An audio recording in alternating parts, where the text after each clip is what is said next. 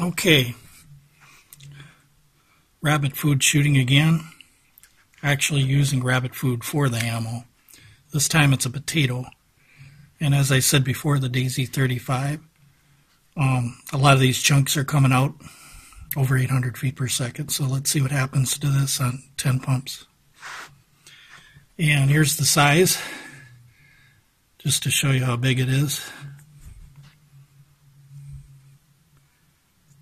Okay.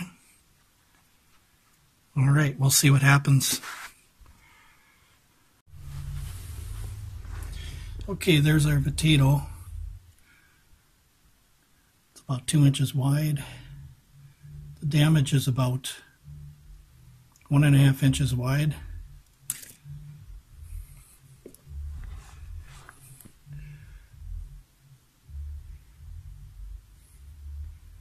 Lots of damage on the front because of the fact that it fragmented, blew up right away.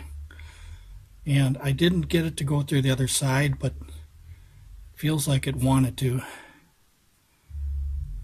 It looks like a keyhole down in there. So the penetration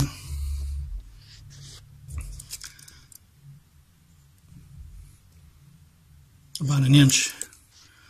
So it went about an inch from the potato. What we can learn from this is uh, pest control.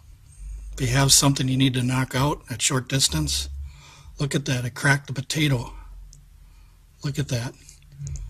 Look at all that energy. See what I mean?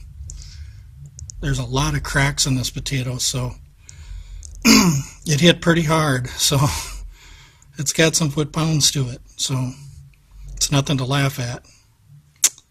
Although it won't go through that far, it'll probably mess up your hand or arm or something if you shot it. So, but there you go, folks.